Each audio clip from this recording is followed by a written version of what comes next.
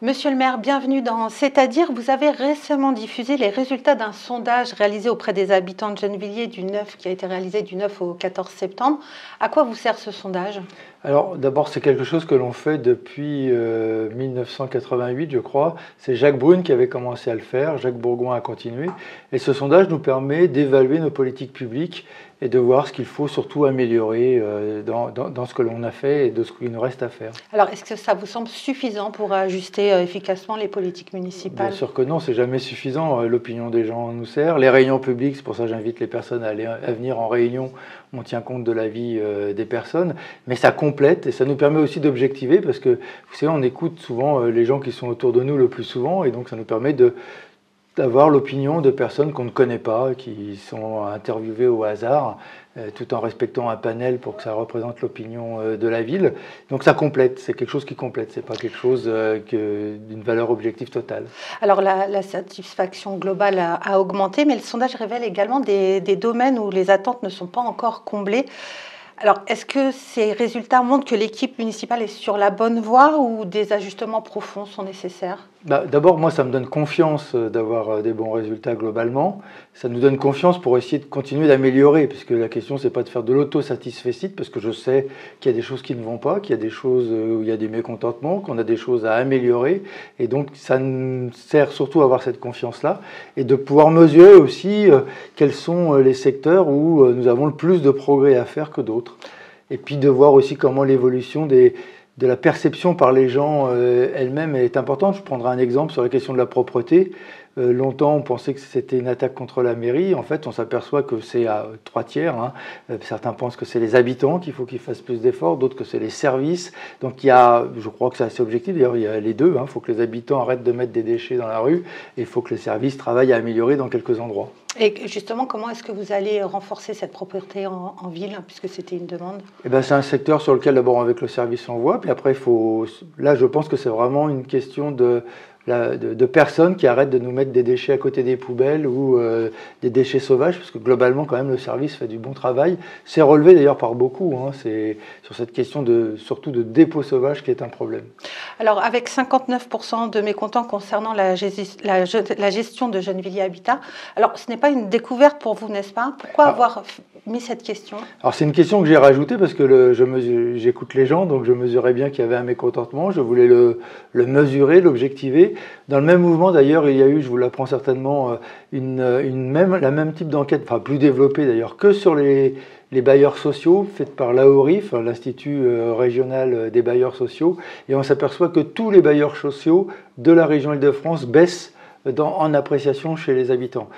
Une des raisons d'ailleurs principales, c'est qu'ils ont moins de ressources. Ça, a, ça a forcément des conséquences quand chez GH on prend 11 millions dans leur caisse, ça a des conséquences sur sa capacité à bien suivre. Mais je crois qu'il y a aussi, au-delà de ça, à améliorer, c'est la discussion que j'ai avec le directeur et la présidente, mais surtout le directeur de Geneviève Habitat, il faut améliorer les relations aux locataires pour pouvoir répondre, suivre les dossiers surtout, parce que des fois il y a la réponse mais il n'y a pas de suivi. Donc ça c'est un travail que l'on est en train de demander et de pousser plus fortement au niveau de GH. Alors, l'action aussi en faveur des personnes âgées marque une baisse. Comment est-ce que vous l'expliquez, cette diminution, alors que la ville a une politique sociale forte? Bah, Surtout qu'on n'a pas beaucoup changé, mais je pense qu'il y a une angoisse chez les personnes les plus expérimentées, euh, une angoisse face à un monde qui bouge, qui, est plus difficile, et donc certainement que ça a des conséquences sur leur perception euh, de la ville.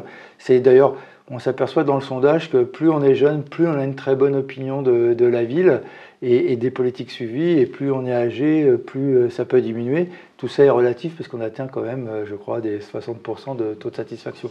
Mais ça veut dire qu'il faut qu'on soit attentif à cette tranche d'âge qui a de plus en plus de besoins et en plus ils sont de plus en plus nombreux dans la ville et donc il faut certainement mieux adapter la ville à cette tranche d'âge. Alors, autre sujet, le stationnement reste euh, un point noir avec seulement 50% de satisfaction.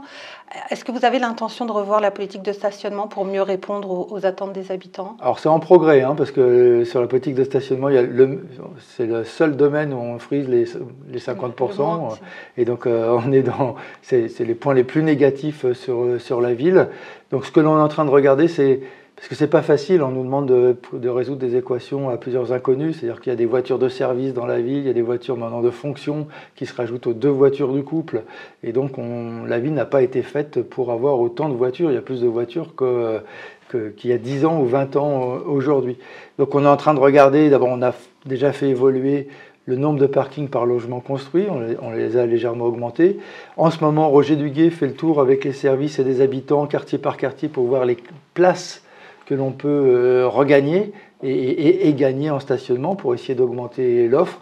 Mais ça va rester. Par contre, on n'a pas décidé, et on ne décidera pas, à mon avis, de passer en stationnement payant. On restera en stationnement réglementé, ça a la même fonction. Il faut juste qu'on arrive à mieux améliorer les, les curseurs. Et ajouter quelques places. Voilà. Alors, euh, bien que la satisfaction globale des transports soit positive, la ligne 13 et le, T1 sont souvent en proie à des perturbations. Comment expliquez-vous en fait cet écart entre l'expérience réelle des usagers sur ces lignes-là et la satisfaction affichée par l'enquête? Ben, parce que c'est une réalité, à la fois ça, le service n'est pas bien euh, donné en raison du vieillissement euh, de ces lignes, mais en même temps, il y a de la proximité. C'est-à-dire c'est pas toutes les villes qui ont, un tramway, euh, trois lignes de métro, bientôt cinq avec la ligne 15, un RER. E Donc ça, c'est bien perçu et effectivement, c'est un atout pour la ville. Reste à l'améliorer. Le T1 va être amélioré puisqu'à partir de 2025, les nouvelles rames du T1 vont se mettre en fonction tous les trois mois en augmentant en charge. Et à partir de 2027, la ligne 13 de métro va changer ses rames aussi. Donc il va y avoir des améliorations dans la prochaine période. L'attribution des logements est perçue comme injuste et obscure par 50% des répondants. Comment est-ce que vous allez répondre à ce manque de confiance? Et que dites-vous à ceux qui pensent que le processus pourrait être plus équitable? Ben, c'est normal que les gens pensent qu'il y a un problème, parce qu'il y a un problème euh, d'attribution, il n'y a pas assez de logements. Alors après, ils mettent ça sur le dos du caractère non équitable. Moi, je les renvoie sur la transparence. On doit être une des rares villes à passer au conseil municipal tous les ans euh, les attributions en nombre d'années. Et si vous comparez avec toutes les villes autour de nous, nous sommes la ville où le temps d'attente est le plus long. Et le plus long, non pas parce que nous sommes mauvais, c'est parce que nous, nous respectons le délai d'attente. Et donc, parce qu'ailleurs, c'est aussi 6, 7, 8 ans ou 10 ans, voire plus de, de délai d'attente, normalement en fonction du nombre de demandeurs. Donc, on a ça, donc c'est je pense qu'il faut qu'on explique davantage, mais expliquer ne suffit pas parce que quand on n'a pas de logement, même si l'explication est bonne, euh, on n'a pas de logement.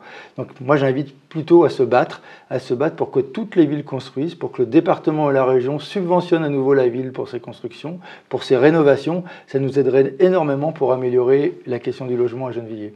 On arrête là, on se retrouve la semaine prochaine dans C'est-à-dire.